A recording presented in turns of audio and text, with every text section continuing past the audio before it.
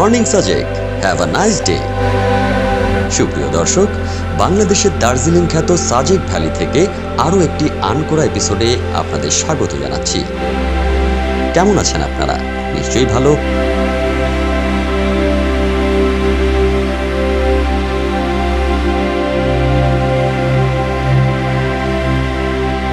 দর্শক, সাজেকের সর্বোচ্চ পাহাড় চূড়া কংলাক শীর্ষে দাঁড়িয়ে সূর্যোদয় দেখব বলে খুব সকাল সকাল আজ ঘুম থেকে উঠেছি।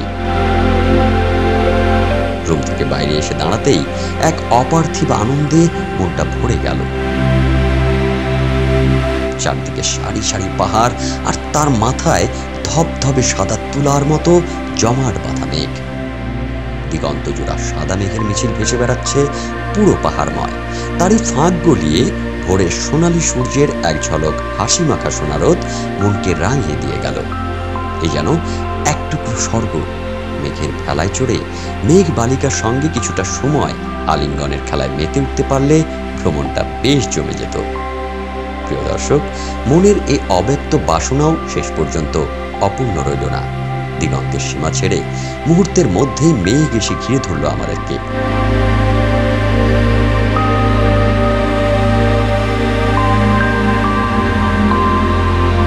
আবছায়া অন্ধকারে হাবুডুবু খেতে খেতে চাঁদের গাড়িতে চড়ে আমরা বেরিয়ে পড়লাম কংলাক পাহাড়ের উদ্দেশ্যে। সাত সকালে কংলাক চূড়ায় দাঁড়িয়ে মেঘ রোদ্দুরের লুকোচুরি খেলা দেখার কোনো তুলনাই হয় না। মনের মধ্যে অন্যরকম একটা উত্তেজনা নিয়ে আমরা মেঘের ভিতর দিয়ে কংলাক অভিমুখে এগিয়ে যেতে থাকি।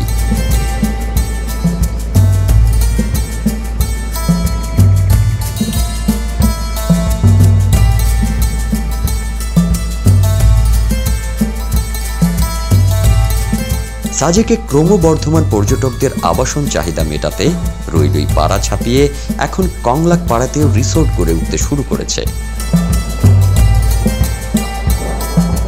রাস্তার পাশে গিরিখাতের ওপর নির্মিত রিসোর্টগুলোকে দূর থেকে পাহাড়ের গায়ে ঝুলে থাকা বাবুই পাখির বাসার মতো মনে হয়। সাজেকের কেন্দ্রস্থল রইলুই পাড়া থেকে অন্তত দুই কিলোমিটার দূরে এর অবস্থান। হ্যালিপ্যাড পয়েন্ট থেকে ট্রেকিং করে কংলাক পাড়ায় পৌঁছাতে সময় লাগে ত্রিশ থেকে চল্লিশ মিনিট।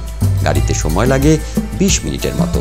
তবে গাড়ি নিয়ে এখনও সরাসরি কংলাক চূড়ায় ওঠা যায় না। কাঁচা পাকা রাস্তা পেরিয়ে মোটরসাইকেল কিংবা গাড়িতে চড়ে কিছুটা পথ যেতে পারলেও বাকিটা পথ ট্রেকিং করেই পৌঁছাতে হয় কংলাক শীর্ষে।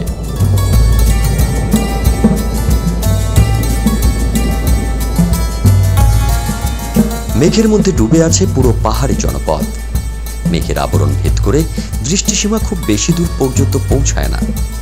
আবছা অন্ধকার ভেদ করে মেঘের ভিতর দিয়েই আস্তে আস্তে কংলাক অভিমুখে এগিয়ে যেতে থাকি আমরা।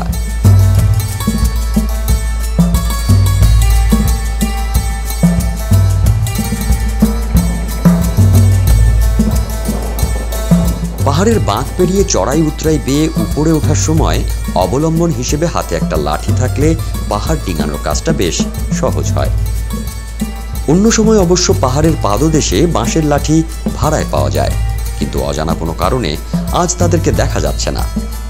অগত্যা কি আর করা? লাঠি ছাড়াই আমরা পথ চলতে শুরু করি।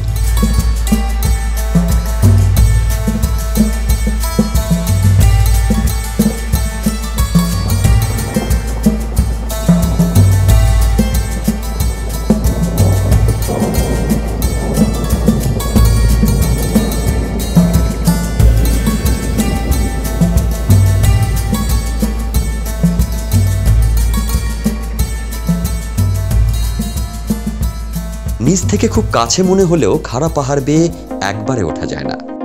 কয়েকবার চিড়িয়ে ধীরে ধীরে উঠতে হয়। পুরো পথটাই গিরিখাতময়। ওঠার পথে পাহাড়ের বাঁকে দাঁড়িয়ে নিচের দিকে তাকালে গাটা শিউড়ে ওঠে।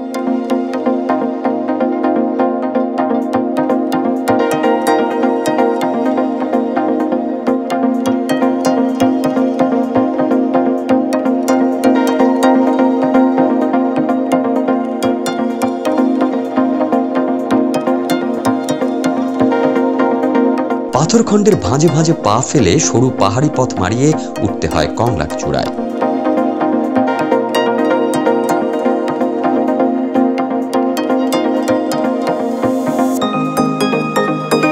যতদূর চোখ যায়, শুধু মেঘ আর মেঘ। মেঘের আস্তরণের নিচে চাপা পড়ে আছে পুরো জনপদ। দূর থেকে ধোঁয়ার মতো মেঘ উড়ে এসে গায়ে প্রশান্তির পরশ বুলিয়ে দিয়ে যাচ্ছে। এখানকার সুশীতল বিশুদ্ধ বাতাস, ভোরে স্নিগ্ধ প্রকৃতি, বন, পাহাড় আর মেঘের অকৃত্রিম মিতালি পথ চলার ক্লান্তিকে অনেকটাই ভুলিয়ে দেয়।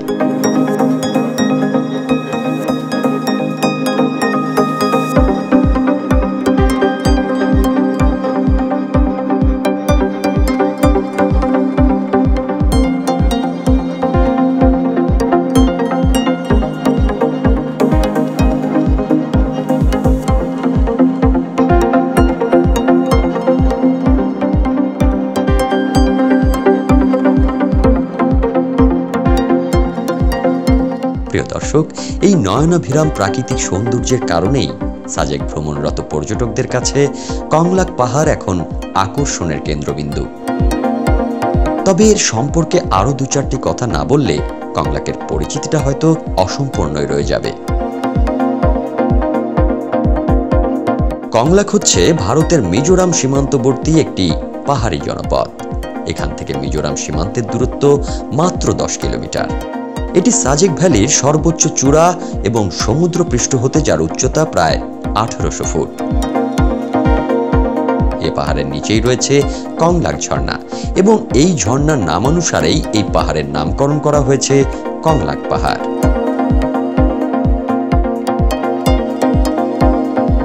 আকাশ পরিষ্কার থাকলে এখানে দাঁড়িয়েই আপনি কর্ণফুলী নদীর উৎপত্তি স্থল লুসাই পাহাড় সহ পুরো সাজেক ভ্যালির একটি প্যানারোমিক ল্যান্ডস্কেপ দেখতে পারবেন।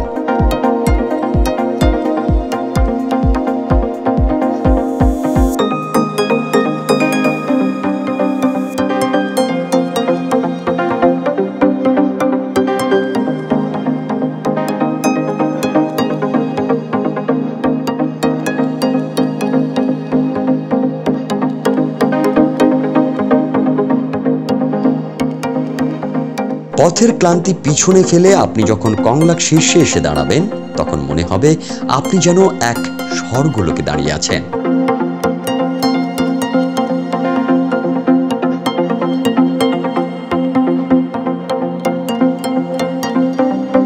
পাহাড়ি ক্যানভাসে সবুজ বনানীর দিগন্ত ছুঁয়ে শুভ্র বসনা মেঘবালিকার দুরন্ত ছুটে চলার অপরূপ দৃশ্য আপনাকে বিমোহিত করবে।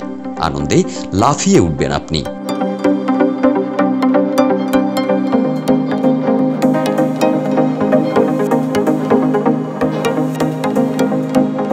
দর্শক, বেলা বাড়ার সাথে সাথে মেঘের দাপট কিছুটা কমতে শুরু করেছে। দিগন্তের দৃষ্টিসীমা ক্রমশই তার হারানো অধিকার পুনঃপ্রতিষ্ঠা করে চলেছে। এখন সবকিছুই আগের চেয়ে অনেক বেশি স্পষ্ট দেখাচ্ছে।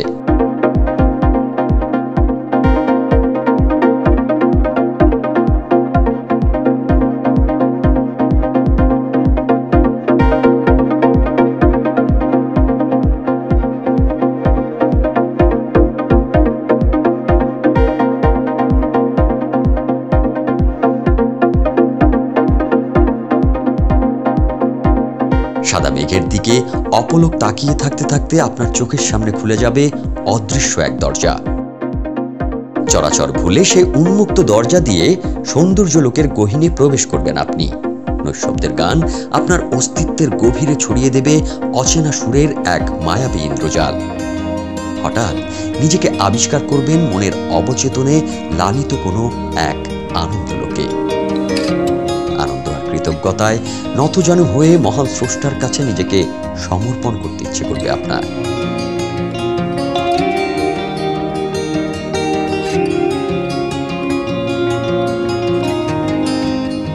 চিৎকার করে বলতে ইচ্ছে করবে, না চাহিতে মোড়ে যা করেছ দান, আকাশ, আলোক, তনু, মনোপ্রাণ, দিনে দিনে তুমি নিতেছ আমায় সে মহা দানেরই যোগ্য করে।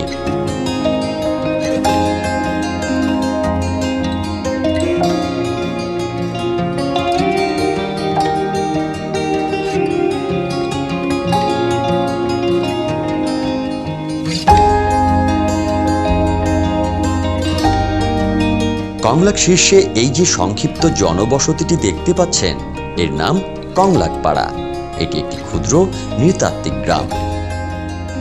ছোট্ট এই গ্রামটিতে ত্রিপুরা ও লুসাই নৃগোষ্ঠীর বসবাস। সব মিলিয়ে দশ থেকে বারোটি পরিবার রয়েছে এখানে। জুম চাষ এ পাড়ার প্রধান খাদ্য ও উপার্জনের উৎস। তবে ব্যাপক হারে পর্যটক উপস্থিতির কারণে এদের পেশায়ও পরিবর্তনের হাওয়া বইতে শুরু করেছে।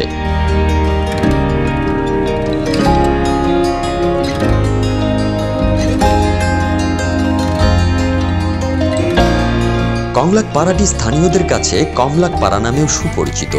স্থানীয় মতে, এই পাড়াটির পাশে বড় বড় কমলা বাগান রয়েছে বলে এটিকে কমলাক পাড়া বলা হয়। এ পাহাড়ের নিচে ক্ষুদ্র নৃগোষ্ঠী সম্প্রদায়ের আরও কয়েকটি গ্রাম রয়েছে। তবে সে গ্রামগুলো খুবই দুর্গম হওয়ার কারণে এই কংলাক পাড়াটিকেই সাজেকের শেষ গ্রাম হিসেবে বিবেচনা করা হয়।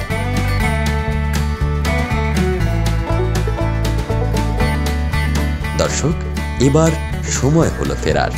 তবে ফেরার সময়, ওঠার সময়ের চেয়েও অধিক সতর্কতা অবলম্বন করতে হবে। কারণ, অত্যন্ত খাড়া এই পাহাড় বেয়ে নামার সময় মুহূর্তের অসাবধানতা আপনার জন্য বড় বিপদের কারণ হয়ে দাঁড়াতে পারে। তাই তাড়াহুড়া না করে খুব সাবধানে পা ফেলে আস্তে আস্তে এগোতে হবে। ভালো পথে দৌড়ে নামার মোটেই চেষ্টা করবেন না। সেটাও আপনার জন্য দুর্ভোগের কারণ হয়ে উঠতে পারে।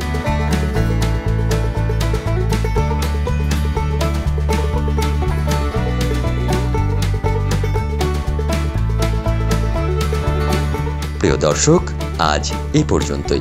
আগামী পর্বে আবার দেখা হবে সাজেকের অন্য কোনো লোকেশনে। সে পর্যন্ত সবাই ভালো থাকুন, সুস্থ থাকুন। ভিডিওটি ভালো লাগলে একটি লাইক দিন। আর আপনি যদি আমাদের চ্যানেলে নতুন হয়ে থাকেন, তাহলে চ্যানেলটি সাবস্ক্রাইব করে ট্রাভেলারের সাথে থাকুন। এতক্ষণ ধৈর্য ধরে আমাদের সাথে থাকার জন্য ধন্যবাদ।